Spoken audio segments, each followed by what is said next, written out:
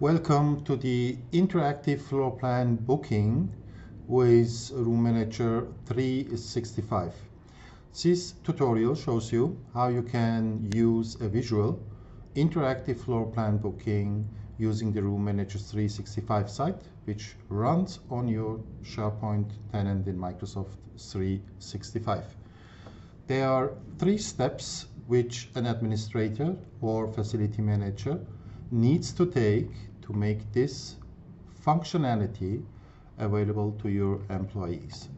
Step one is to add your desks and rooms to the room manager site. Step two is to add your floor plans to the room manager site. This can be done directly as an office administrator or facility manager or a SharePoint admin. And step three is then let your employees search and book free available desks and rooms using the visual interactive floor plan. Let's see and jump into the presentation how you can add your desks and rooms to the room manager site. You are logged in with your admin account or the office manager account and there is a link in the quick launch here as you see on our room manager site which says desks and rooms. In this list, you can manage all your desks and rooms directly by adding new, new desks or new rooms. The available fields out of the box can be entered directly in this form and then you can save.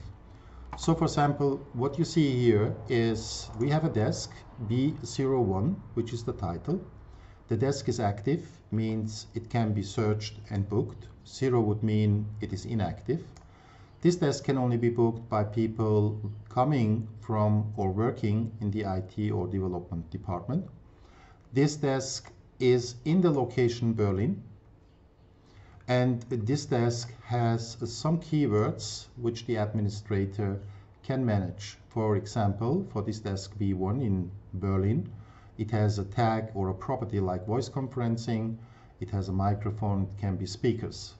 The Office Manager can easily edit these values directly in SharePoint by adding new choice fields or by selecting other pre-built keywords which enables the end user to narrow down the search results. This you will see in the step 3. And you can assign a certain desk type Uh, to these desks as well. The management of the desk types can be easily colored and can easily be managed in the edit column. And then last but not least you can define what kind of resource type it is. So it can be a desk or it can be a room. This is step one. Step two is the to add the floor plans to the room manager site so what do we mean by floor plans? Well, any Visio, PowerPoint or any graphic tool can be used to create, and this is what you do actually, these floor plans. The floor plans can have already a coloring for certain areas. So this will be reflected then in the booking form. And uh, this is actually a pretty simple step uh, to use your existing floor plans. You can have as many floor plans as you want. And once these floor plans as image files are prepared and ready, we can add in step two the floor plans as an admin or facility manager.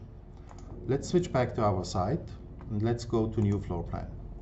Under new floor plan link, which is only available to the right persons of course, the office manager selects uh, the location the location is where the facility is and say select file.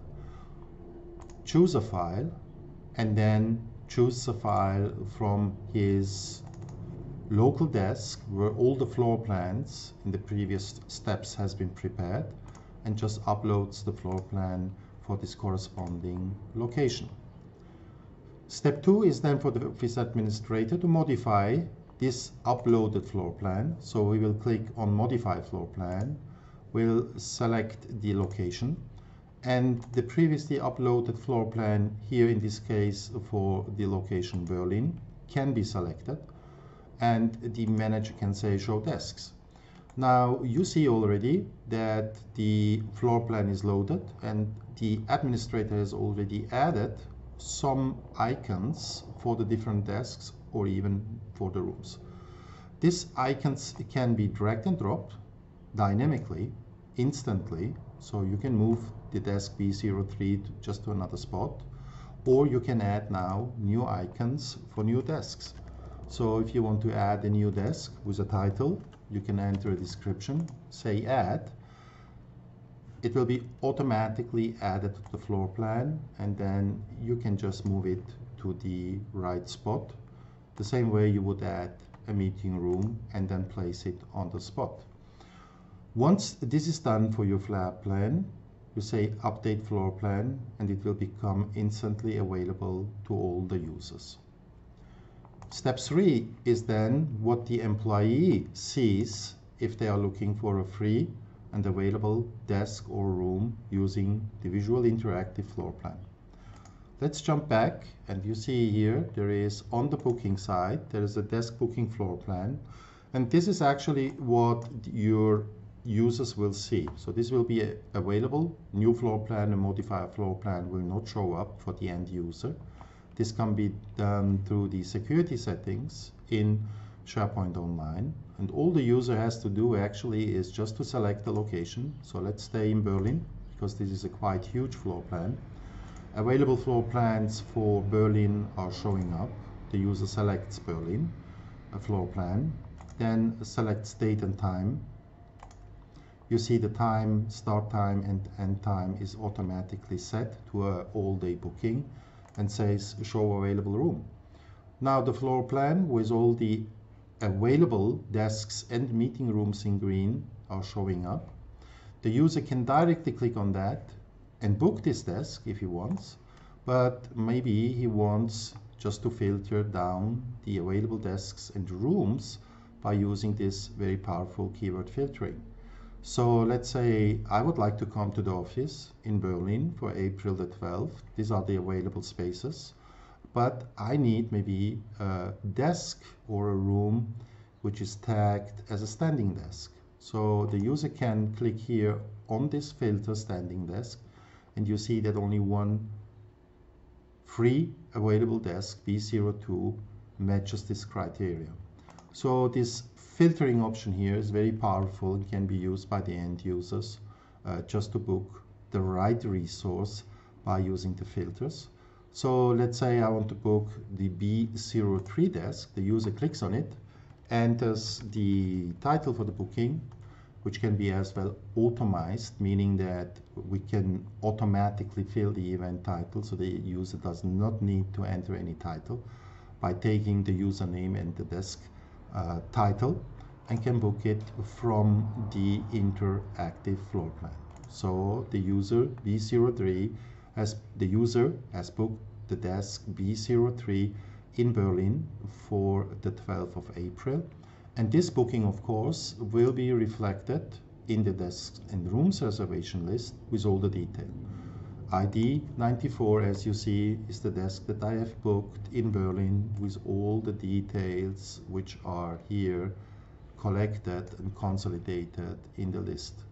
Next time, if a user comes and books as well a desk in Berlin, let's select the 12th maybe, and say show available desk, you see that the desk, the previously booked desk B03 appears. When the user who was over the icon, they see who has booked this desk. So I could book a desk close to this person, related to the project, related to the teams, whatever. And this will be again updated with the uh, right settings and the right informations. To summarize, the desk booking interactive floor plan is a very simple way uh, given to the clients uh, to manage their floor plans, as many by location, by using the modify floor plan to interactively change any settings without interruption and the user can use the desk uh, booking floor plan, the interface by accessing the site in the browser. Thank you very much.